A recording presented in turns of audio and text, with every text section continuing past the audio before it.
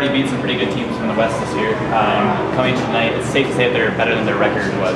Oh, very much so. They're they're much improved over the last couple of years. They've got uh, some of the most skill in, in the OUA. They play hard. They've got a lot of structure, and you know we saw a lot of that tonight. We are fortunate to come up with the win. What can you say about the, the way that it turned out at the end there with the tying goal? So well, I mean, when you go. Uh, you know, down a goal like we did late, and uh, you get inside a minute left in the game, and you're down. You come away with two points is is great. And uh, you know, I thought our guys showed a lot of character there late, and throughout the you know the overtime, uh, I think we pressured pretty well in overtime. We had, had you know didn't have a lot of shots, but had majority of the puck possession. And for uh, you know Stephen to get his third, that was uh, pretty exciting for us and for him.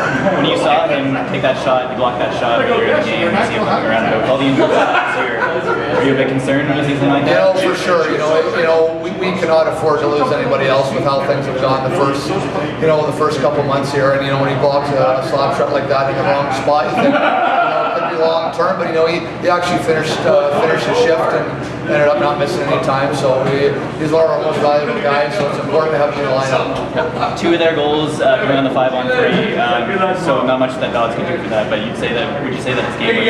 How would you assess his game today? He's solid, you know, and and Greg's been great for us all year, you know, and I'm you know, I'm sure anytime a goalie lets in that many goals, he's probably, you know, not uh, not overly happy with uh, his goals against average. But you know, they came at us hard in the second, and he bound, he had a great second period.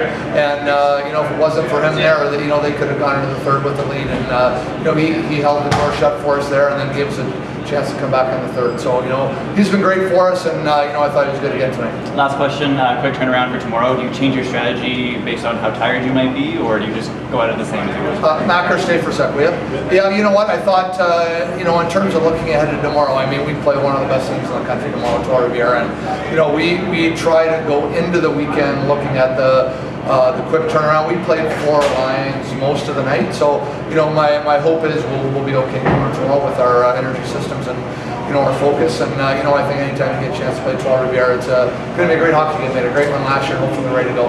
Awesome. Thanks a lot. Okay. Thanks.